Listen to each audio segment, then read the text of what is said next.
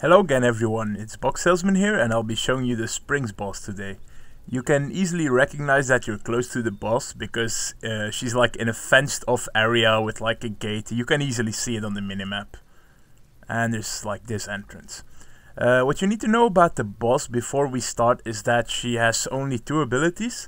One is uh, some kind of like wand attack, just a normal physical wand attack. And the second one is corpse explosion. Corpse explosion is really dangerous in two uh, in two cases. Either when there's like one of those big golems around because they have a crazy amount of health, or if it's a double unique map. If it's a double unique map, the corpse explosion from one unique to the other dead unique might just one shot you, so make sure you're not standing anywhere near the corpse. Okay, I'll be going in now and I'll show you how you can just like dodge the wand attacks if you want and the boss is quite easy because of that. Just make sure you don't stand on top of a pile of corpses or she could like spam explode you. But even then it doesn't do that much damage. Okay, I'll just clear all the ads first. If you just keep moving enough, she won't really hurt you with her wand attack.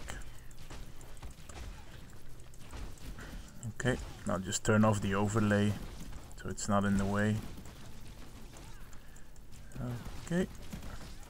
Yeah, as you can see, those cor monkey corpses, I don't really care about those explosions. Okay, and now if you see, if I just keep moving, I'll always dodge the one that attacked. Like, they are pretty slow, like, well, actually, the projectile travels fast, but it just keeps missing you if you run around in circles. So you could just, as soon as you have problems with your health, you can just run in circles and she'll never damage you. Or you could like shoot, run, shoot, run, shoot, like this. Okay, now I'll just finish her off, face tanking it, because this thing has a lot of elemental damage. Oh. Now you don't want to see me kiting her all day. But that's basically how you kill her when you have like crap gear. Oh, the only reason I put up a Skellybrotum is so, uh, so she moves less. So I can bear trap her easily. As you can see, this thing is kind of annoying to kill. It has a lot of resist. It's probably completely overcapped. Okay, that's it. I hope you guys learned something, and bye.